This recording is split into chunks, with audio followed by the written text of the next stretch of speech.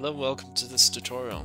I'll be showing you how to use the utilize the analog signal analog output of your Click PLC. First you need a PLC that can actually output an analog signal. And um, usually you'll know if if it is analog signal because sites like Automation Direct will tell you directly. So what you first want to do is no matter what model you have, you want to be sure which outputs, which addresses you, need to be using. So go to con System Configuration and have a look at what you see. So it'll come up with this window. So it shows you module type. This is the one I have. Inputs, I.O., you know, all the I.O. that you can ever want. So what you're looking for is uh, this output here, DF.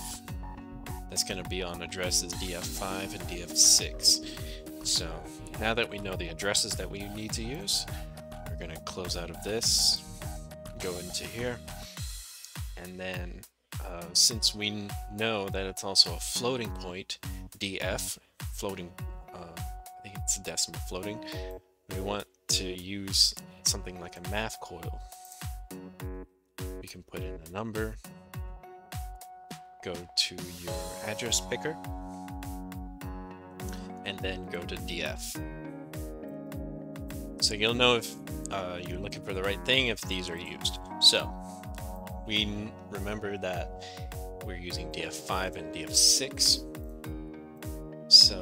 So DF5 and DF6, DF5 corresponds to uh, DAV1 if I remember correctly. Probably don't.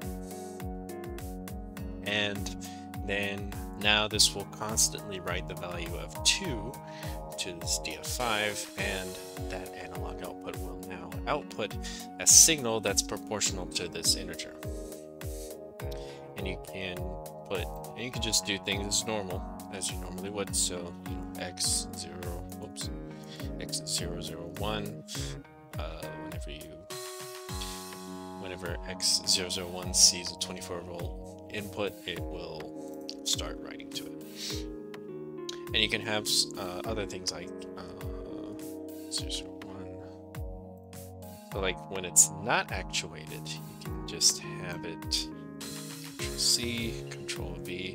You can just have it um, write a value of zero to make it go into the off state.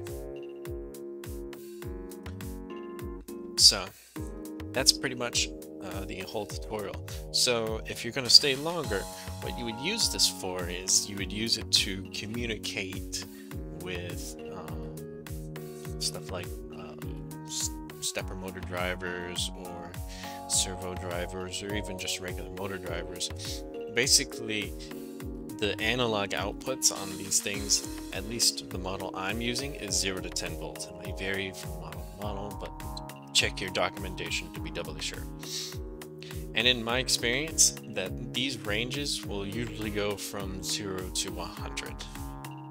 I guess is that it's like a percentage of the voltage you can output. Even though it says it's a 12-bit resol 12-bit um, resolution, that mean that doesn't mean it goes. You have to put in something like 4096 for the uh, actual number. You don't have to do linear math or any of that kind of thing. So, anyway, that's it for this video.